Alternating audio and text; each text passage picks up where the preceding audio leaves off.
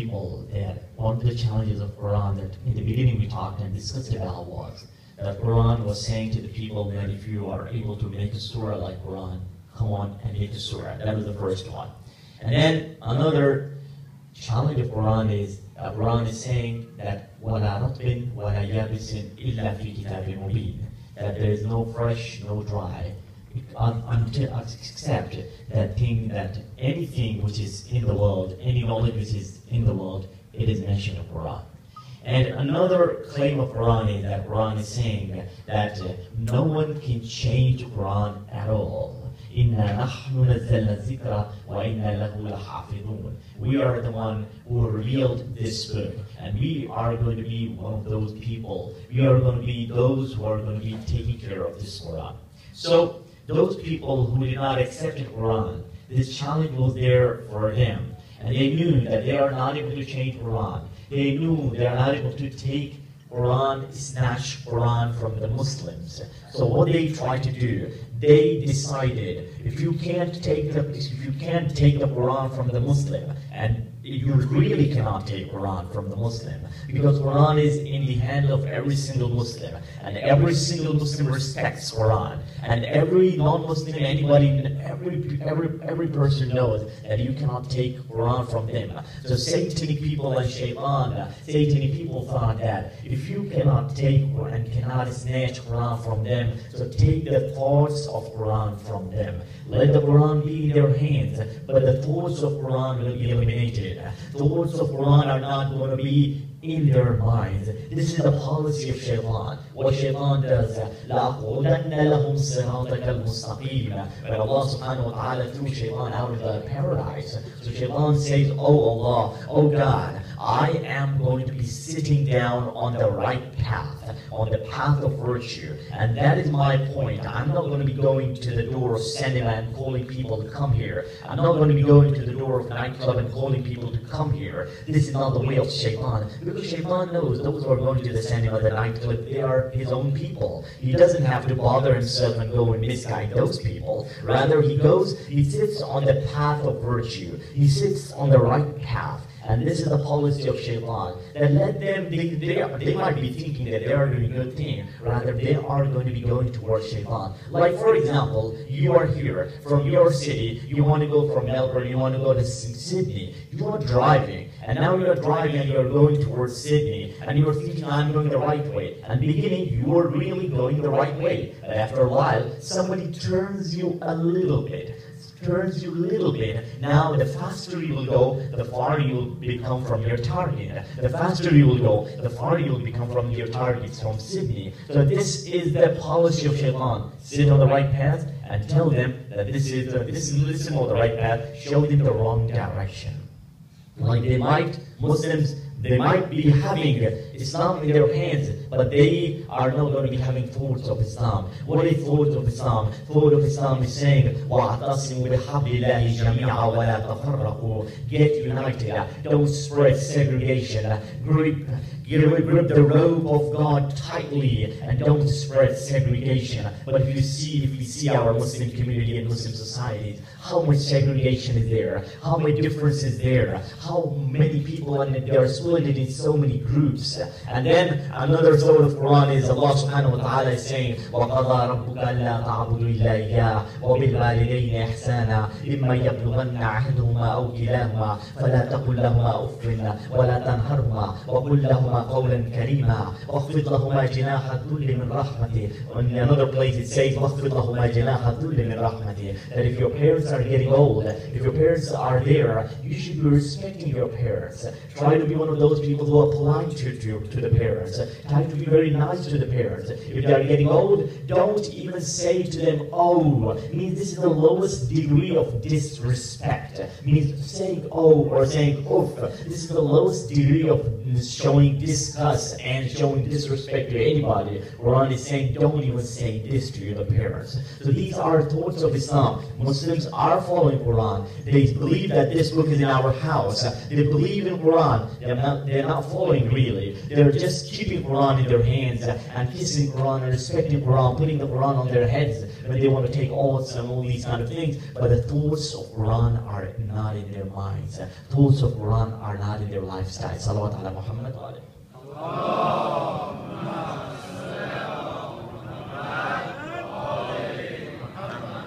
فکر قرآن باید در زندگی ما وجود داشته باشد فقط نه اینکه قرآن را میبوسیم و قرآن را احترام می‌گذاریم فکر قرآن و فکر اهل بیت باید همیشه در زندگی ما نمایان باشد. هر کاری که ما می‌کنیم ببینیم آیا این کار را مولای من دوست دارد یا ندارد. قبل از کردن هر کاری باید این چنین فکر کنیم. حالا قرآن کتاب خداست و قرآن وارثانی دارد و وارثان قرآن پیامبر و اهل بیت او هستند. ما هر وقتی که دعایی میطلبیم و از خدا چیزی می‌خواهیم به وسیله وارثان قرآن می‌خواهیم به وسیله اهل بیت می‌خواهیم. تمام تمام اهل تشیع و اکثریت اهل تسنن وقتی دعا می‌خواهند به خدا می‌گویند خدایا تو را به حق علی ابن ابی طالب تو را به حق حضرت زهرا تو را به حق امام حسن تو را به حق امام حسین دعای مرا مستجاب کن. این وسیله هست. به وسیله اهل بیت ما تقرب خداوند حاصل می‌کنیم. به خدا نزدیک می‌شویم. و بعضی ها می‌گوید نه لازم نیست که شما به وسیله اهل بیت دعا کنید. خدا را مستقیما بگویید خدایا به من این چیز بده. آری مستقبل مستقیما می‌تونید شما دعا کنید. اما به وسیله هم می‌توانیم دعا کنیم. چون خدا خود میفرماید یک کتاب تاریخی هست کتاب اهل تسنن هست مروج و زهب این قصه در اون کتاب نقل هست. که وقتی اگر کسی پیش پیامبر می آمد که یا رسول الله من مریضم من بیمارم برای من دعا بفرمایید. پیامبر اکرم نوع دعا کردن پیامبر این چنین بود. پیامبر دستهای خودش را بلند می‌کردند و میفرمودند اللهم ارحم علی فلان به حق علی. خدایا بر فلان شخص رحم بفرما به حق علی ابن ابی طالب. این راه پیامبر بود. همیشه پیامبر این چنین دعا می‌کرد. حالا یه چند نفری در در دربار پیامبر همیشه با پیامبر بودن که مؤمن نبودن از دلشان منافق بودن بغض علی داشتن علی علیه السلام را دوست نداشتن اینها دو نفر به هم دیگه گفتن چرا همیشه اینجوریه؟ هر مریضی میآید هر مقروضی میآید هر بی اولادی میآید هر حاجتمندی میآید هر وقت می‌خواهد پیامبر برایش دعا کنن پیامبر می‌گوید اللهم ارحم علی فلان به حق علی. خدای بر این رحم بفرما به حق علی به واسطه و به صدقه علی. چرا اسم ما رو نمیارن؟ یه روز اسم ما باید بیاد دیگه به حق فلان شخص به حق فلان شخص. اون یکی دوستش یه خود زرنگ بود. گفت نگرانی نیست نگران نباش. وقتی علی مریض می شود پس ما به درد می‌خوریم. نمی‌دانم چی شد نمی‌دانم چی شد. بعد از چند مدتی حضرت علی مریض شدن. آمدن پیش پیامبر. یا رسول الله من مریض شدم برای من دعا کنید. و اتفاقا اون وقت چهار نفر بیشتر اونجا ننشسته بودن. یک علی ابن ابی طالب و یک پیامبر و آن دو منافق. آن دو منافق خوشحال شدن. الان یا منو می‌بره یا اسم تو رو می‌بره؟ جز من و تو کسی اینجا نیست. پیامبر خدا را حضرت علی علیه السلام گفت یا علی یا رسول الله برای من دعا بفرمایید. دستهای پیامبر بلند شدن دستهای کرم بلند شدن دستهای رحمت بلند شدن دستهای رفعت بلند شدن. حضرت پیامبر فرمود اللهم ارحم علی علی به حق علی. خدایا علی را رحم کن به حق علی بر علی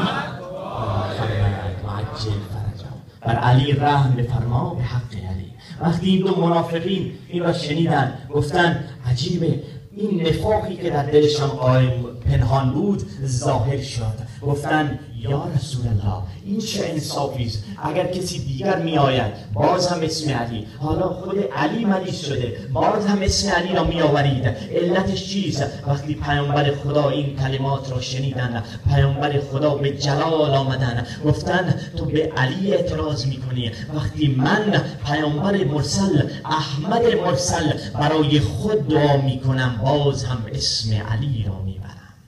برای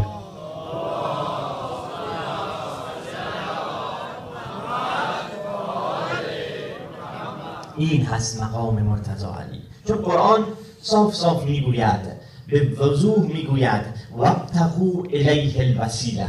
خدا میفرماید اگر می‌خواهید به من نزدیک بشوید به وسیله نزدیک بشوید. وسیله اهل بیت. خب بعضیا می‌گویند خب منظور از وسیله اسماء خداوند هست. نه اهل بیت خب همین حرفشون رو می‌گیریم همین حرف رو تحلیل می‌کنیم. اسما یعنی چی؟ اسما یعنی جمع اسم. اسما یعنی plural of names.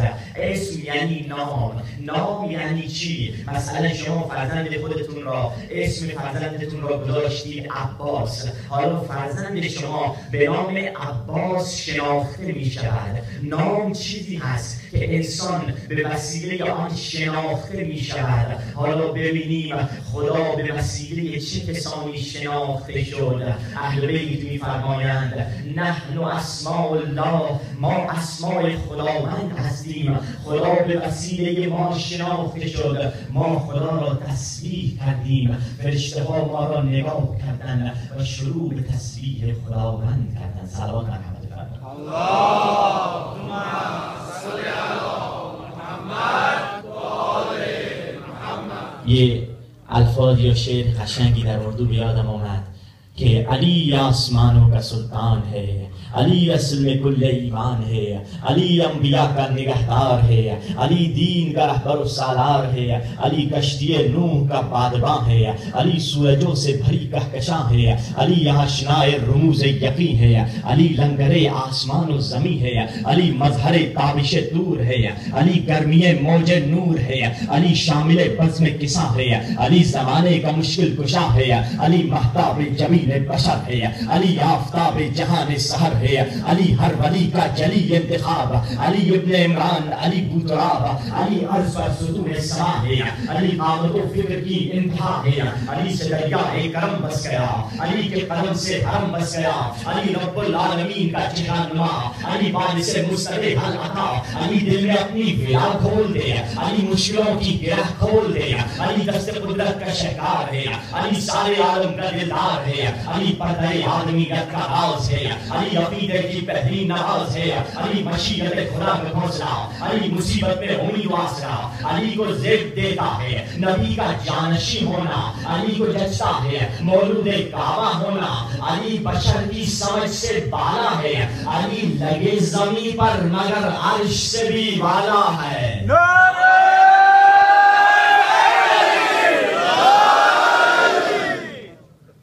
این مقام علی ابن ابی طالب است. به وسیله علی ما قرب الهی مییابیم.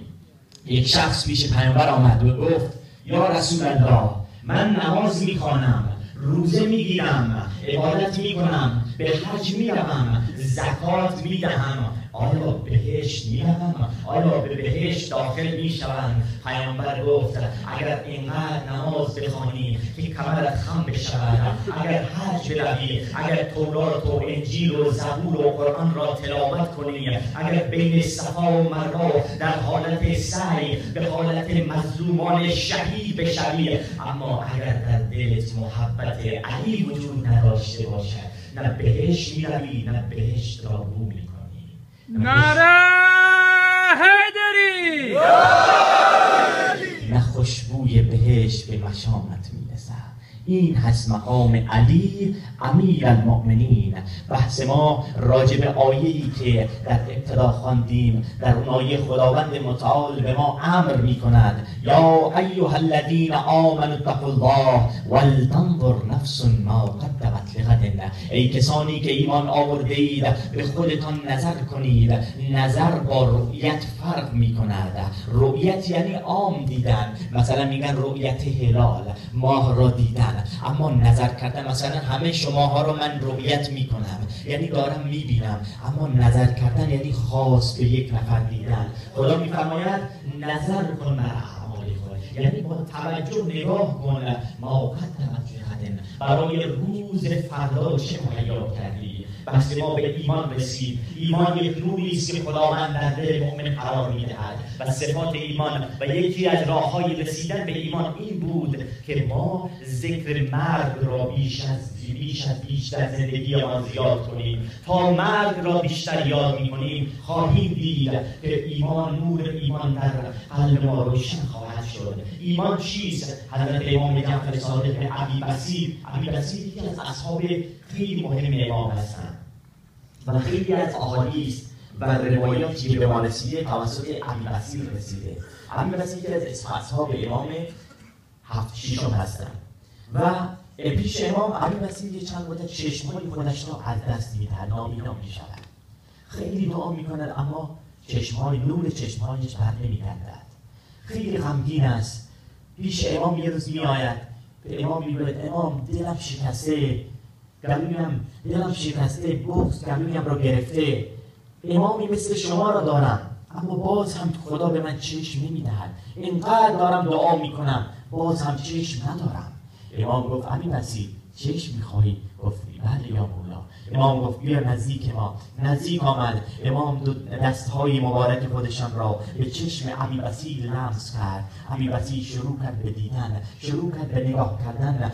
نور چشمهایش برگشت. خوشحال شد. گفت تشکر می‌کنم مولا. ممنون شما هستم. الان عبی بسیل داشت می‌رفت. دم در بود. امام گفت عبی بسیل ما تو از ما چشم خواستی. ما تو را چشم عطا کردیم به حکم خداوند. اما یادت باشد روز قیامت حساب تو مثل آنهایی که محبان ما هستند نخواهد بود. ابی بسیر گفت مولای من روز قیامت با شما نزدیک نخواهم بود. اگر این چنین است این چشم ها را نمی‌خواهم. برگشت و گفت مولای من این چشم ها را پس می‌دهم. دوباره نامینا شد و از محضر امام رخصت یافته رفت. یعنی ایمانش اینقدر بلند و اینقدر قوی بود. اگر ما جایش بودیم شاید می‌گفتیم مولای من انشاءالله من احتیاط می‌کنم. انشاءالله من چشمای خودم را کنترل می‌کنم. اما او گفت نه اگر شبهه اگر امام می‌گوید حساب من سخت می‌شود در روز قیامت به خاطر این دوتا چشم. گفت من چشم نمی‌خواهم. الان به این عبی بسیره که ایمانش اینقدر قوی است امام میفرمایند ای عبی بسیر ایمان تو پایین ترین درجه ایمان هست. تو پایین ترین درجه ایمان را داری الله اکبر این ایمان چیست؟ امام جعفر صادق یک روز به حج می و یکی از اصحاب امام با امام هست امام قرآن تلاوت قرآن می فرمایند گریه می کنند عشق می ریزند بعد آن موقع امام می فرمایند بعضی وقتها مؤمن حالت دل مؤمن این چنین می شود که در دلش نه ایمان هست نه کفر هست. و ایمان او به نازکی یک نخ می شود الان فقط یک اشاره شیطان کافی است که او را از خدا و اهل بیت و دین و اسلام دور کند. یک اشاره شیطان کافی است. پس این ایمان چیست که ابی, بسیر ما میفرمایند ایمان تو پایین ترین درجه است. ایمان چیست نام معنی ایمان چیزه؟ پایین ترین درجه ایمان چیزه؟ اگر ما نمی‌توانیم به درجه ابوذر و سلمان برسیم لاقل به پایین ترین درجهش برسیم. پایین ترین درجه ایمان این است که امام میفرمایند علی ابن ابی طالب میفرمایند پایین ترین درجه ایمان این هست که اگر کسی کار خوبی را انجام دهد انقدر خوشحال بشود گویا همه دنیا را به او دادهاند و برعکس اگر کار بدی را گناهی را از گناهی را انجام بدهد گناهی از او سر بزند اینقدر غمگین و ناراحت بشود گویا همه دنیا را از او گرفتهاند. این هست ایمان. یعنی من اگر کار بدی را انجام بدهم نه اینکه مثل ها کار ها کار بد انجام میدن انگار نه انگار. همانطوری که قبل از کار بد بودن و برعکس کسانی هستن الحمدلله کار خوب انجام می‌دهن اما بعد از کار خوب انجام دادن فکر می‌کنن وای چقدر وقت طرف کردم چقدر پول به راه خدا دادم افسوس می‌خورن. یعنی اینها به پایین ترین درجه ایمان هم نرسیدن. اگر پولی اگر مالی اگر وقتی اگر زحمتی در راه خدا خرج کردیم باید خوشحال بشویم.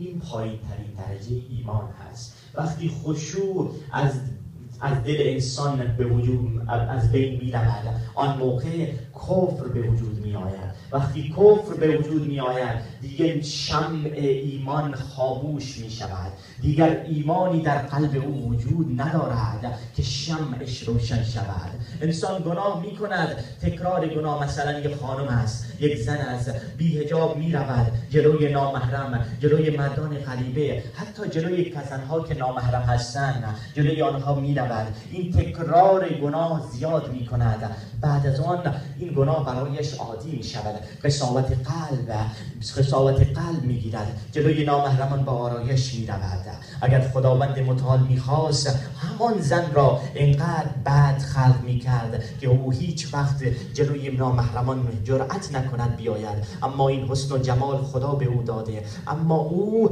از این حسن و جمال سوء استفاده می کند از این حسن و جمال این نعمتی که خداوند به او داده. چون حدیث پیامبر هست خدا لعنت می کند بر مردی که پیامبر خدا لعنت می کند فرشته ها لعنت می کند بر مردی که زنش لباسی بپوشد که بدنش نمایان باشد. لباس نازک یا لباس تنگ بر مرد لعنت می شود بر زن هم لعنت می شود بر مرد هم به خاطر اینکه او نصیحت نکرد او امر بالمعروف نکرد او نهی عن المنکر نکرد بر او هم لعنت می شود این گناه هست که تکرار گناه انسان را به طرف قصاوت می‌برد انسان را به طرف بدی می‌برد در حالی که کسانی هستند که تازه مسلمان شده اند اما اسلامشان دینشان بهتر از مسلمان ها هست یه خانم تازه مسلمان وقتی هجاب اسلامی را دید چون در اروپا در آمریکا اینجا اکثر کسانی که مسلمانش می‌شوند اکثریت آنها خانم ها هستند. و چیزی که جذبشان می‌کند این هجاب اسلامی است. این زن مسلمان شد و خیلی خوشحال بود. حیا و دین و افت اسلام بود که او را جذب کرد. و با حجاب کامل آمد. در مسجد مسلمان ها در امامباران مسلمان ها وقتی مسلمان ها را دید تعجب کرد. دخترهای مسلمان ها خانم های مسلمان ها لباس هایی که پوشیدن همان لباسی پوشیدن که قبل از مسلمان شدن می پوشید تعجب کرد. به عالم شیعه به روحانی شیعه خنامه نوشت که من مسلمان شدم به خاطر این که اسلام حیا و افت را دارد. اما وقتی مسلمان ها را نگاه می کنند چیزی از حیا و افت در آنها سلام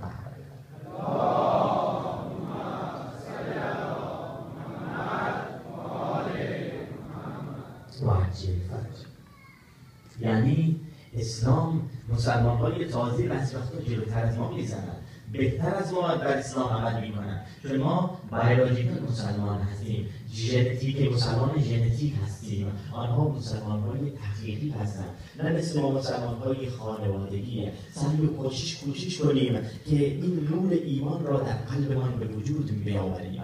اگر این نور ایمان در قلبمان وجود نیاید به خاطر به سبب تکرار گناه قلب ما قسی خواهد شد. مثل اون قصه دختر مسلمان. دختر مسلمان بود اما وقتی بالغ شد به سن بلوغ رسید پدر او به او گفت دخترم تو دیگر مسلمان شدی. الان باید با حجاب اسلامی بروی به طرف مدرسه خود. او در مدرسه تنها دختر مسلمانی بود. با حجاب اسلامی رفت همه دخترها شروع کردن به او خندیدن. چه شده؟ این چه چیزی هست که تو پوشیدی؟ چرا موهای خود را پنهان کردی؟ خیلی ناراحت شد. برگشت پیش پدرش گفت بابا خیلی منو اذیت کردن پدرش میگه که فردا اگه بروی فردا با این دخترها این چنین حرف بزن.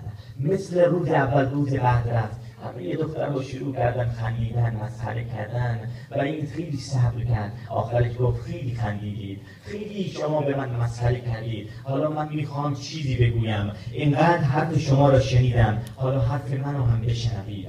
گفت که حرف من این هست که من می‌خوام از شما بپرسن آیا شما مسیحی هستید؟ گفتن آری ما مسیحی هستیم. آیا حضرت عیسی رو قبول دارید؟ همه گفتن قبول داریم آیا حضرت مریم را قبول دارید همه گفتن قبول داریم گفتن بگو به ما بگویید که لباس مریم مثل لباس شما هست. یا مثل لباس من. چون عکس حضرت مریم هم با حجاب می درست می‌کنن نقاشی می‌کشن. گفتن همه آری لباس مریم مثل تو بود. همه ساکت شدن. و یک دختر مسیحی دختر مسیحی اومد و میگه بهش من می‌خوام مسلمون بشم گفت چرا می‌خوای مسلمان بشوی؟ گفت چون من وقتی از مدرسه می آمدم وقتی در اتوبوس در ترین در مترو بودم همه مردها را می‌دیدم. قبل از اینکه صورت منو ببینن صاف می به پاهای لخت من نگاه می‌کردن.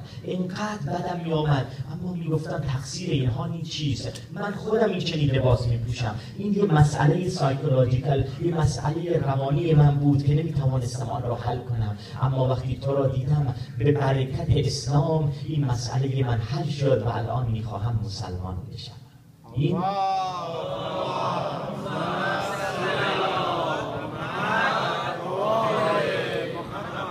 این برکت اسلام است. این برکت دین هست. سعی کنیم در این روزها کردار خودمان را بهتر کنیم.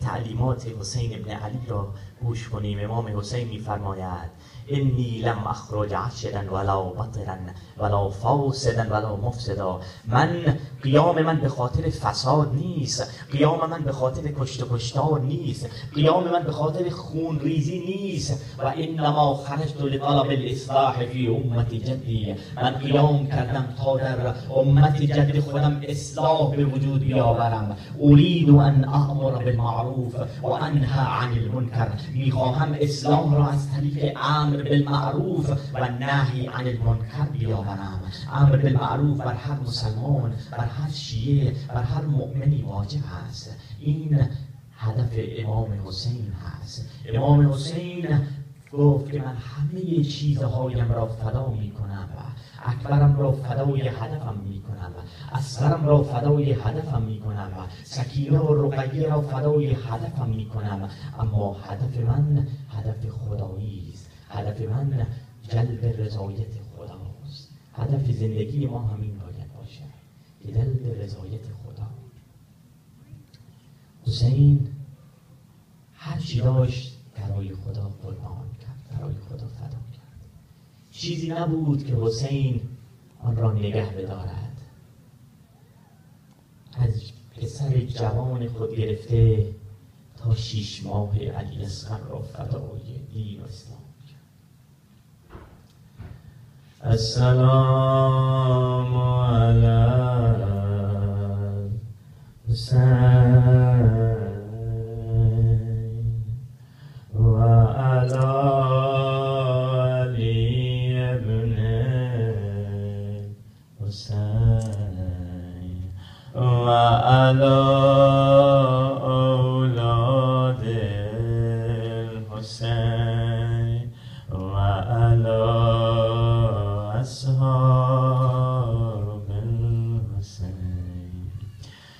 و علی علی ابن حسین و علی مخور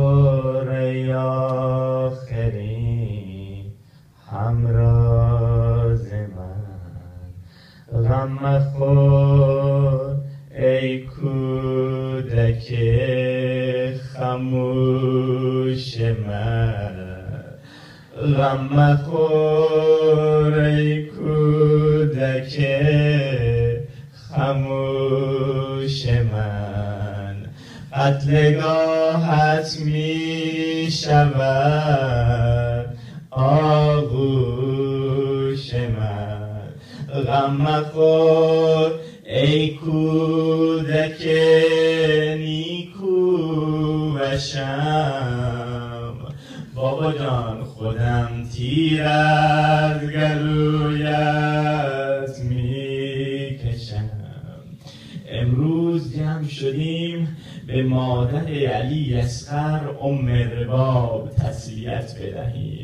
ام رباب مادر علی اسقر است.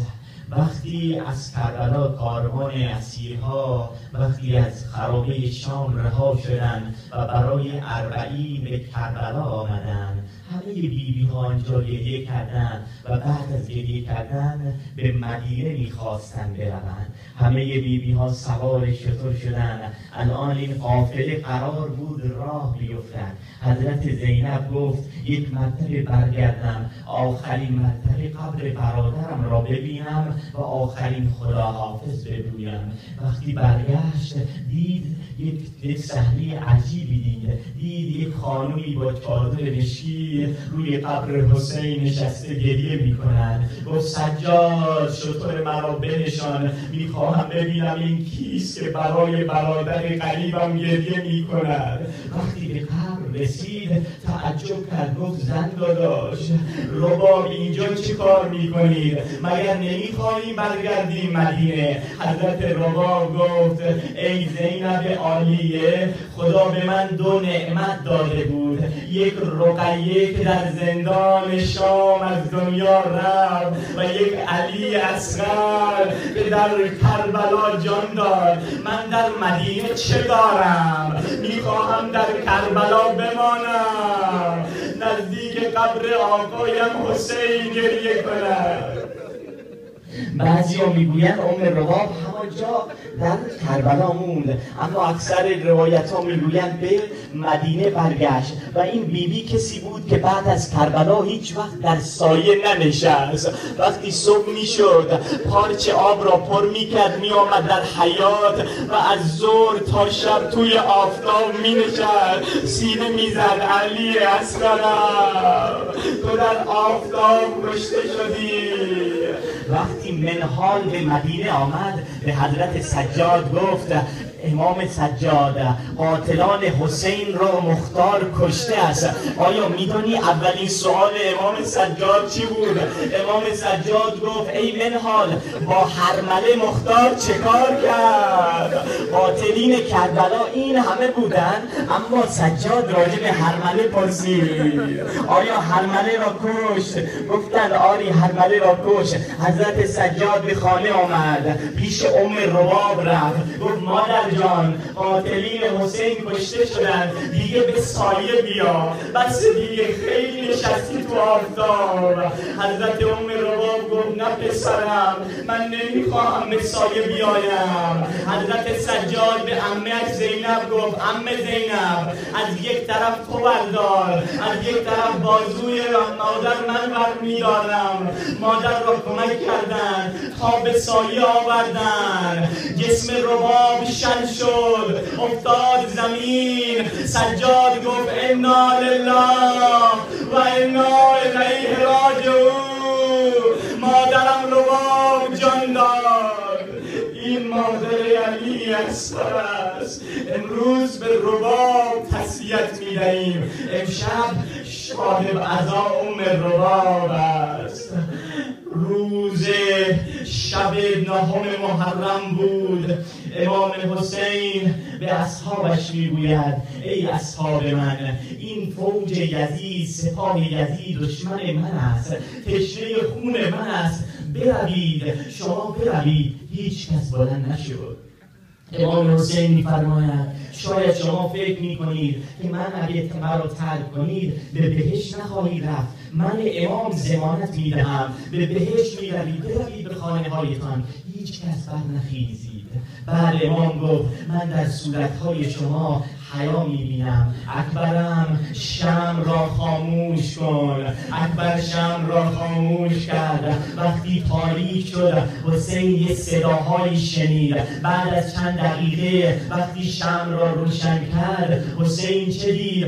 حسین دید جوانهایی که در سپاه حسین بودند. نیام شمشیرها را شکستند و شمشیر به دست گرفتند. آنهایی که پیر بودند. امامه های خودشان را به کمر بستند تا جوان دیده بشوند آنهایی که بچه بودند قدهای روی پاهای خود ایستادند تا بلندتر دیده بشوند. حسین وقتی این را دید تا حسین وقتی منظر را دید بریر جلو آمد. گفت حسین به ما می‌گویید ما تو را رها کنیم. حسین اگر برویم کجا برویم؟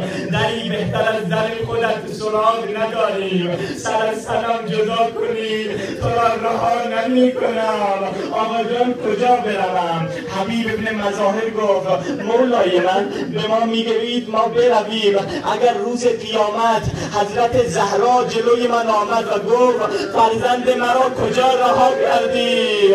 من به مادر چه می‌گویم؟ در همین موقع حضرت عباس بلند شد. حضرت عباس حسین را خیلی احترام میگذاشت. گفت آقای من بعد ساکت شد.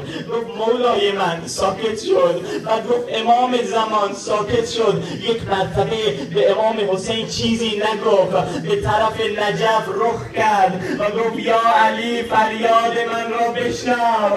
برادرم به من می‌گوید که او را رها کنم. مادرم در خنداقم به من یاد داده بود. تو محافظ حسین هستی.